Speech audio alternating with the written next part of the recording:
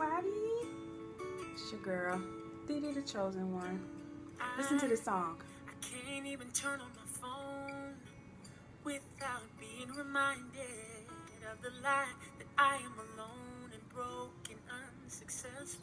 I I can't always talk to my friends because they've got expectations that I may or may not be living up to. I really need I'm gonna turn it down a little bit.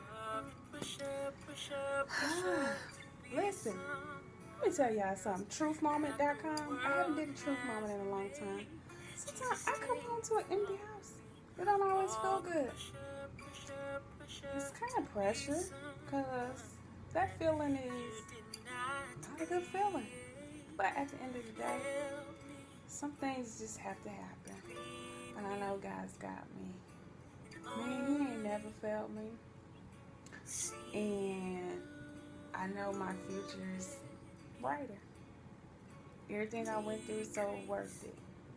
Did it hurt in the process? Yes. Does it hurt now? Yep. But guess what? I'm alright, man. What? Y'all alright out there? What's your truth moment? You need God to help you?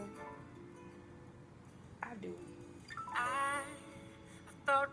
I, I thought my intentions were good. Love this song. This song is called Pressure by Jonathan McReynolds. Someone watching would approve. Yeah, I don't never prepare for these videos. I just talk. I hope it's a blessing to you.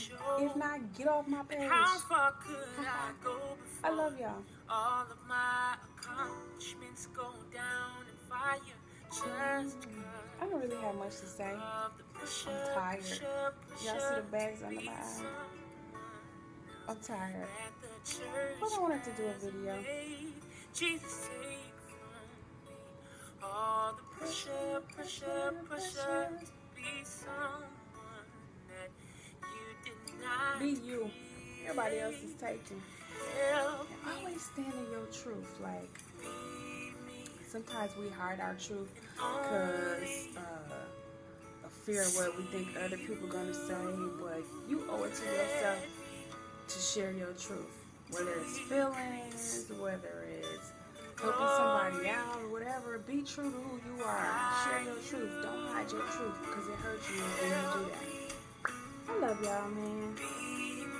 I'm chill. I'm good, man. I'm alright. I got a lot of things I'm facing, but man, I'm alright. I'm God's favorite. What about you?